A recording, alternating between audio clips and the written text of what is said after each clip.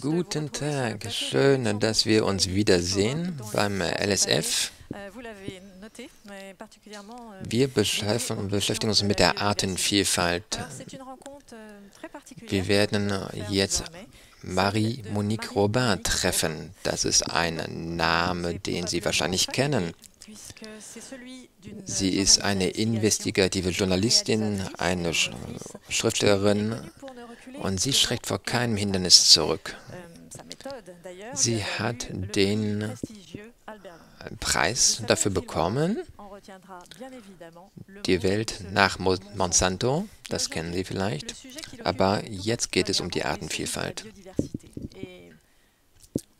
Insbesondere die Verbindung von Artenvielfalt und die menschliche Gesundheit.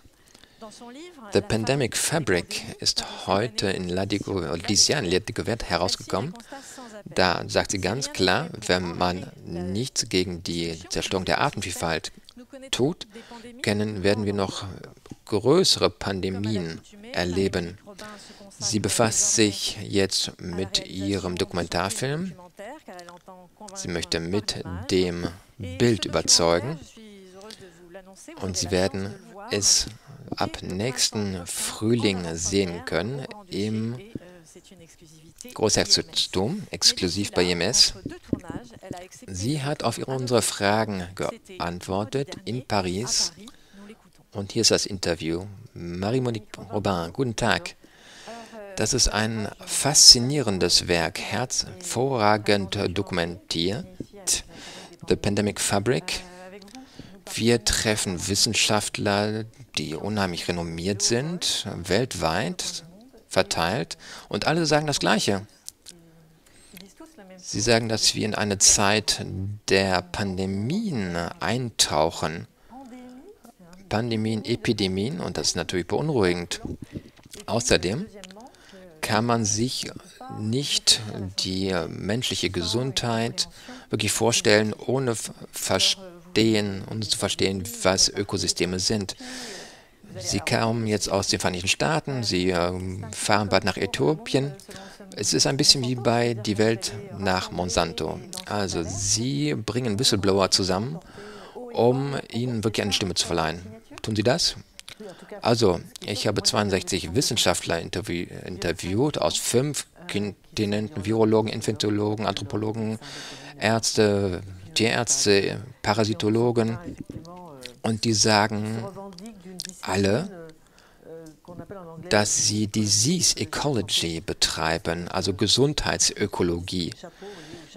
Das ist ein Sammelbegriff. Jeder steuert sein Fachwissen bei, um die Herausforderungen anzugehen unserer Zeit, zu einem der Klimawandel, die Zerstörung der Artenvielfalt, das hat ja direkte Auswirkungen auf die äh, Pandemie, die Epidemie, Ungleichheit, Armut, denn alles ist ja miteinander verknüpft. Also Whistleblower in der Tat, sie sagen ja das gleiche seit 20 Jahren. Und sie waren sehr glücklich, dass ich sie alle zusammenbrachte.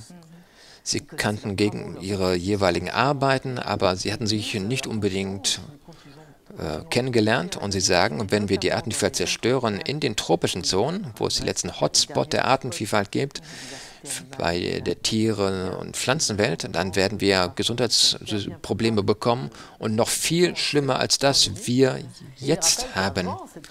Es gab ja andere Epidemien, diese Zoonosen, also Krankheiten, die vom Tier auf den Menschen überspringen. Ebola, AIDS, das vergisst man ja manchmal, denn das ist ja eine äh, Infektionskrankheit, die zunächst einmal eine Zoonose war. MERS, SARS, Zika, Chikungunya, Nipah, das ist eine lange Liste und die WHO sagt, dass bis 1970, da gab es alle 15 Jahre eine Infektionskrankheit, jetzt sind wir bei 1 bis 5 Jahren.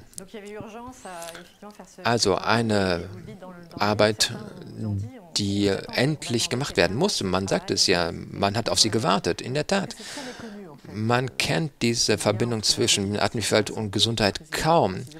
Wie ist die Zerstörung der Artenvielfalt also die Grundlage dafür, dass es Zoonosen und Epidemien gibt? Krankheitserreger finden wir da, wo es viele wilde Tiere gibt. Aber wenn man sich in solchen tropischen Zonen betrifft, ich war in Amazonien, in der Französisch-Guyana, da war ich mit Rodolphe Gosselin unterwegs. Er hat gesagt, hier haben wir 630 Mückenarten, die uns umschwirren, aber nur zwei sind gefährlich für den Menschen. Und die stechen die Menschen. Die Anopheles-Mücke, die Malaria überträgt, oder die Tigermücke, die das Gelbfieber überträgt. Und all diese Vielfalt macht den Verwässerungseffekt aus. Man denkt, mehr Artenvielfalt, mehr Mücken, mehr Risiko, aber diese Vielfalt reduziert das Risiko. Also dieses Paradigma habe ich letztes, äh, letzte Woche in New York mit zwei Wissenschaftlern gesehen. Da ging es um die Lyme-Krankheit. Hier geht es darum, dass man äh, die amerikanischen Wälder unterteilt. Da gibt es kleine Parzellen. Das bedeutet, dass es kleine Waldstücke gibt. Und deshalb breitet sich ein Nager aus. Der trägt ein Bakterium mit sich. Die Zecken werden infiziert. Danach sind es die Menschen. Man fragmentiert also so einen Wald. Erstmal verschwinden die äh, Raubtiere, die die Population der Nager kontrollieren könnten. Und dann hat man diese Nischentiere, das sind die Spezialisten sozusagen. Jetzt breiten sich die Nager aus und das Infektionsrisiko steigt. Das bedeutet, dass die Artenvielfalt verwässert das Infektionsrisiko. Das wurde wissenschaftlich nachgewiesen für Vektoren, durch Vektoren übertragene Viruskrankheiten wie Malaria oder Lyme. Das bedeutet, die Folgen menschlichen Eingreifens im Dschungel, durch Straßen, Minen und so weiter, das sind Faktoren. Wie tauchen also Infektionskrankheiten auf? Das heißt, man nennt das Orte des Aufkommens von Infektionskrankheiten, weil man Minen im Dschungel äh, ausbeutet. So ist ja der, das AIDS-Virus entstanden Mitte des 19. Jahrhunderts wegen der Kolonisierung Europas, der afrikanischen Wälder. Erst war das äh, Virus recht unauffällig, bevor es eine Pandemie wurde. Und jetzt haben wir genetisch veränderten Soja in den äh, Massenzuchtbetrieben in Luxemburg und Frankreich. Jetzt haben wir Freihandelsabkommen mit Lateinamerika. All das trägt dazu bei, dass der Regenwald abgeholzt wird. Weniger Artenvielfalt, höheres Infektionsrisiko, denn alles ist miteinander verbunden. Wir können das wirklich mehr, nicht mehr auseinanderhalten. Gesundheit der wilden Tiere, der Haustiere, der Artenvielfalt und der Gesundheit der Menschen. Diese Pandemie jetzt ist nur eine Episode, denn es gibt noch viel, es wird noch viel schlimmer. Ebola ist so ein Beispiel. Beispielsweise wird Buschfleisch konsumiert und Ebola tötet 70 bis 90 Prozent der Leute, die sie anstecken. 70 mal tödlicher als äh, Corona. Also Ebola ist immer noch da. Das haben wir bei den Ausbrüchen gesehen. Ab 1976 brach Ebola aus, zwei Jahre nach einer massiven Rodung. Das ist interessant, die Karten zu nutzen. Diese Studie zeigt ja, dass zwei Jahre nach einem massiven Roden man davon ausgehen kann, dass Viren auftreten. Das ist sehr gut dokumentiert. Das zeigt auch ganz klar, was da für eine, Bedingung, für eine Verbindung äh, besteht. Serge Moron, ein Forscher von CNRS, hat eine sehr interessante Studie durchgeführt in Asien und im Pazifikraum. Da hat er in den letzten 50 Jahren die Karten genommen, wo die Ausbrüche stattgefunden haben. Zika, Chikungunya und so weiter. SARS war da. Dann die Karte der Rodungen und der vom Aussterben bedrohten Arten. Und die Karten decken sich. Und das ist mal ganz klar. Wenn Sie das nun hinzufügen, dann haben Sie die Globalisierung. Das ist ja ein interessantes Thema. Wir sehen ja, wie alles, wie alles zusammenhängt. Äh, Natürlich ist das alles menschengemacht, im unter Anthropozän. Aber wenn wir das einmal nachverfolgen, die Kausalzusammenhänge, zum Beispiel zum Nipah-Virus, der ist aufgetaucht 1997 aufgrund der Rodung der Insel Borneo. Da rodet man komplett einen Urwald für Palmöl. Und da spielen Fledermäuse eine Rolle, die finde ich absolut faszinierend. Das sind Träger, richtig, in der Tat. Das sind die einzigen fliegenden Säugetiere, die einen unglaublichen Stoffwechsel haben. Sie können selbst gesund bleiben, obwohl sie Träger sind. Träger von unglaublich vielen Viren. Wenn man ihr Habitat äh, zerstört, dann ist das ein Stress für diese Tiere. Die Stresshormone wurden nachgewiesen im Urin. Und wenn sie Exkremente ausscheiden, dann können sie natürlich die Wildtiere kontaminieren. Ich habe das in Malaysia äh, studiert. Das sind fruchtfressende Fledermäuse. Und sie sind bei Schweinezuchtbetrieben. Sie essen die ähm, Monokulturen, die Mango, Mangofrüchte, kontaminieren die Schweine, dann die Arbeiter auf diesen, in diesen Betrieben. Außerdem sind die Menschen ja zu 95 Prozent identisch genetisch mit den Schweinen. Wenn sie ein Virus also auf Menschen trainieren wollen, wir brauchen immer eine, sogar ein Zwischentier, einen Überträger. Und wenn Sie dann das Schwein nehmen, dann ist das der, der Hauptgewinn. Das ist eine direkte Übertragung. Die Schweine sind gestorben, der Nipah ist unheimlich äh, gefährlich. Dann sind die Arbeiter auf diesen Betrieben äh, gestorben. Malaysia ist ein muslimisches Land. Alles Schweinefleisch wurde dann also exportiert. Und zwar nach China wurde Schweinefleisch exportiert. Und dann sehen Sie mal, wie sich das verbreitet in den letzten 40 Jahren. All diese Infektionskrankheiten, Rodung, Massentierhaltung und dazu noch die, Han die äh, Handelswege und die Globalisierung. Das ist die Kombination. Das sind die drei Hauptfaktoren. Die Verschitterung spielt auch ein, eine, eine Rolle. Sie lachen vielleicht, denn das hat ja was von Massentierhaltung. Man hat unheimlich viele Menschen auf kleinem Raum, manchmal unter menschenunwürdigen Bedingungen. Das ist eine wirkliche Petrischale. Eine biologische Bombe ist das. Was sich mit den Schweinen zuträgt, das passiert dann auch mit den Menschen. Diese große Konzentration ist Quelle eines unglaublichen Austauschs. Und dann führt das zu Epidemien. Das ist ein gutes Beispiel. Das sind Trägertiere, Haustiere, die haben dann eine Brückenfunktion zwischen den Wildtieren und, den, und der menschlichen Gesundheit sprechen wir von Corona, vom Covid. Da ist es noch nicht ganz klar, wo das herkommt. Stimmt. Ich, ich überarbeite gerade mein Buch, das als Taschenbuch rauskommt. Wir haben hier verschiedene Aspekte zu, zu äh, berücksichtigen. Die Cebit-Katze war bei SARS 2003 die, der Träger. Für den Coronavirus haben wir noch nicht den Träger gefunden. Es gibt Vermutungen, die immer besser belegt sind.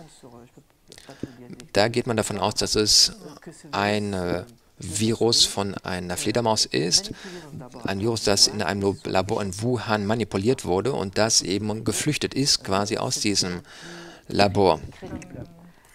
Das ändert nichts von dem, was ich gerade gesagt habe. Das ist ein P4-Labor. P4 heißt Hochsicherheitslabor. Das habe ich in Gabon gesehen, in Franceville. Wir, die Menschen, scheuchen die Viren quasi aus den Dschungel durch unsere Aktivitäten. Wir können natürlich die Viren sequenzieren, um einen Impfstoff zu finden. Das ist sehr kontrovers unter den Forschern. Hier sagt man, so werden wir nicht den folgenden Pandemien ent, entgehen. Das ist sehr, sehr gefährlich, mit Viren umzugehen.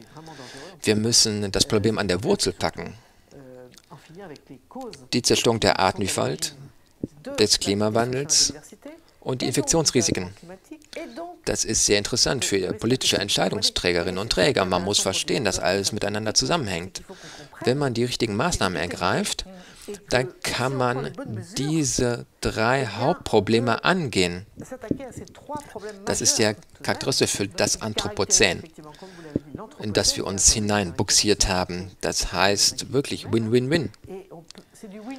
Ich frage mich immer, worauf warten wir denn? Das wäre gut für den Planeten und ganz besonders für uns, die Menschheit. Der Planet kommt wunderbar ohne uns klar, aber umgekehrt eben nicht. Wir könnten hier wirklich für diese drei Probleme Lösungen finden. Das ist der Ansatz One Health in Ihrem Werk hier in der Tat. Das ist ja die unteilbare Gesundheit, von denen auch die UNO spricht. Hier ist der Gedanke, dass man aus diesem Silo-Denken ausbrechen muss. Die Virologen arbeiten nur an Viren. Natürlich brauchen wir Virologen, aber sie müssen mit Parasitologen, Epidemiologen, Anthropologen zusammenarbeiten, um gemeinsam Lösungen zu finden. Aber die Regierungen arbeiten auch alle parallel. Das Agrarministerium tauscht sich nicht aus mit dem Gesundheitsministerium, mit dem Umweltministerium. Well, One Health, das haben wir aus dem The Lancet Mag Magazin. Da haben wir One Health, Planetary Health, also die Gesundheit des Planeten. Rockefeller, diese Stiftung spielt hier auch eine Rolle. Das ist noch weiter gefasst. Das also natürlich vor dem Hintergrund des Klimawandels und der Armut, der Ungleichheit.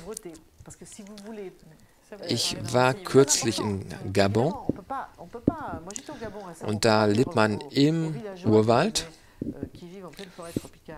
Da gibt es keine Landwirtschaft. Wenn man denen sagt, hört auf, hört auf zu jagen, esst kein Busch, Buschfleisch mehr, dann können diese Menschen nicht essen.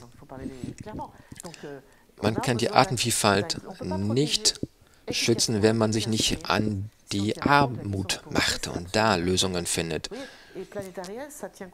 Also da braucht es natürlich Orientierung für die diversen Regierungen, um Lösungen zu finden. In der Tat. Also muss man das wirtschaftliche Modell neu denken.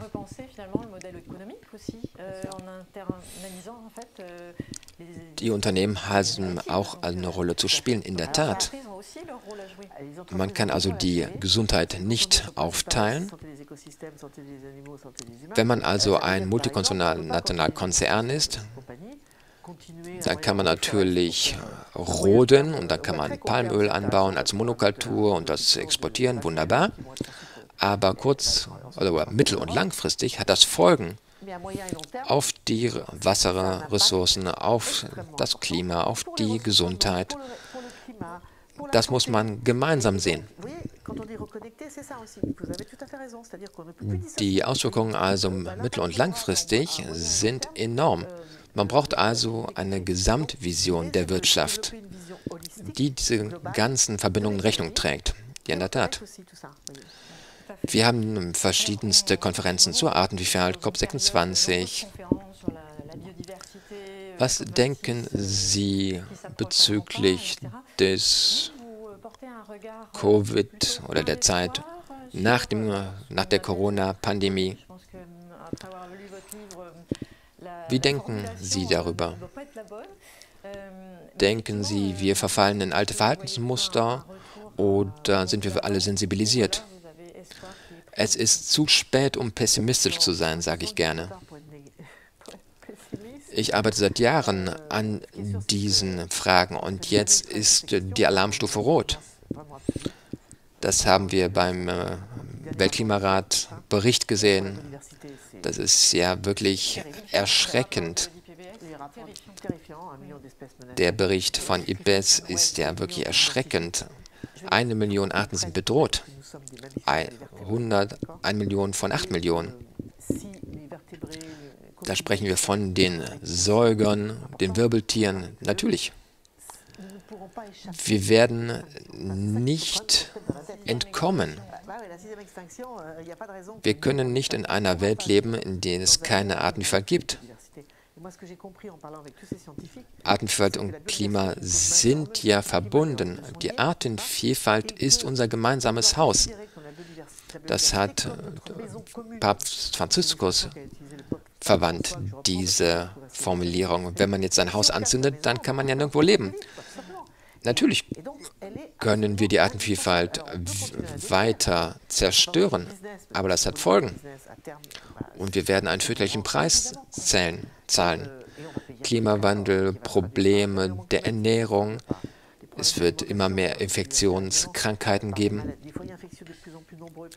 Auch die chronischen Krankheiten sind ein Thema. Ja, das ist sehr interessant. Das ist die große Entdeckung. Wenn wir die Artenvielfalt bei uns zerstören, weil wir nicht genug Wälder haben, weil die Kinder in vollkommen aseptischen Umgebungen aufwachsen, dann ist unser Immunsystem äußerst anfällig. Asthma, Allergien, Nahrungsmittelintoleranz, Unverträglichkeiten. Das habe ich ja alles besch äh, beschrieben. Mehrfachkrankheiten zusammen mit Corona. Das ist erstaunlich, denn das ist alles komplett logisch, wenn man es überdenkt. Chronische Krankheiten gehen auf die Zerstörung der Artenvielfalt zurück. All diese chronischen Krankheiten, wir sind viel verwundbarer gegenüber der neuen, den neuen Viren aufgrund der Artenvielfalt. Jetzt haben wir verstanden, wie das funktioniert und jetzt können wir wirklich handeln. Also Corona ist nur ein Warnschuss. Vielen Dank, Marie-Monique Robin. Das ist hochinteressant. Sie waren auch vertreten in der letzten Ausgabe Sustainability Mag von IMS Luxemburg. Absolut faszinierend, was Sie da schreiben. Ich bin sehr gespannt auf Ihren folgenden Film. Sein Dokumentarfilm zu diesem Thema, der wird uns sicher bei der Sensibilisierung helfen und beim Verständnis helfen. Denn wir müssen ja zu einer anderen Verhaltensweise kommen, andere Muster finden. Sie warten noch auf einige Finanzierungsquellen, in der Tat. 15 Prozent vom äh, Haushalt, denn ich habe wirklich eine große Dimension vorgelegt hier. Da brauche ich nämlich einen Drohnenpiloten. Wir müssen ja von oben filmen, die ganzen äh, Dschungelwälder. Juliette Binoche ist dabei. Sie ist überall mit mir dabei. Sie ist eine wunderbare Botschafterin. Sie können alle diesen Film unterstützen, Sie können die DVD kaufen und natürlich bei der Vorpremiere dabei sein. Vielen Dank und alles Gute fürs Drehen. Willkommen zurück. Es war eine faszinierende Präsentation. Wir sehen die Verbindung, die Zerstörung des Waldes, des Dschungels, der Artenvielfalt hat Folgen auf die Gesundheit. Zu verstehen, wie alles zusammenhängt. Zu verstehen, warum jede kleine Handlung zählt. Was sind die gegenseitigen Einflüsse? Zählt es wirklich, Plastikstrohhalme nicht mehr zu verwenden. Ja, es ist wichtig. Natürlich ist das wichtig. All diese kleinen Dinge, die man tun kann, in den Unternehmen oder auch als Individuum, all dies geht zum großen Ziel. Wir haben es ja gerade gehört. Zwei Jahre nach einer massiven Rodung kommt es zu Pandemien. 40 Mal die Fläche von Luxemburg. Diese Fläche ist in Flammen aufgegangen in Australien. Kommt es dann zu Infektionskrankheiten in Australien? Ich hoffe es natürlich nicht, aber wer weiß. Eine Milliarde Tiere sind verbrannt. Die Tatsache, dass die Fledermäuse Stress haben, bedeutet, dass sie Exkremente ausscheiden und das Virus verbreiten. Verstehen, was unsere Auswirkungen auf den Planeten sind. Als Bürger, als Unternehmer, wie können wir helfen? Hier hatten Sie ja fast eine Demonstration, wie Waldartenvielfalt und Krankheit miteinander verbunden sind untrennbar verbunden. Jetzt möchte ich einen weiteren Blickwinkel präsentieren, fast poetisch, aber das ist recht traurig, das werden Sie sehen. Hier werden Sie sehen, wie alle Elemente ineinander greifen, aber ohne Worte, nur mit Bildern. Abfolgen. Hier werden Sie sehen, wie alles miteinander zusammenhängt das ist jemand, den wir gut kennen, Natascha Zakos. Vor zwei Jahren war sie bei uns. Sie hat uns dieses Werk gewidmet. Am Ende sehen Sie die Ruhe, das Schweigen für Sie, für uns, um nachzudenken. Vielleicht daran zu denken, was man anders machen kann. Natascha Zakos, vielen Dank est avec nous. Merci.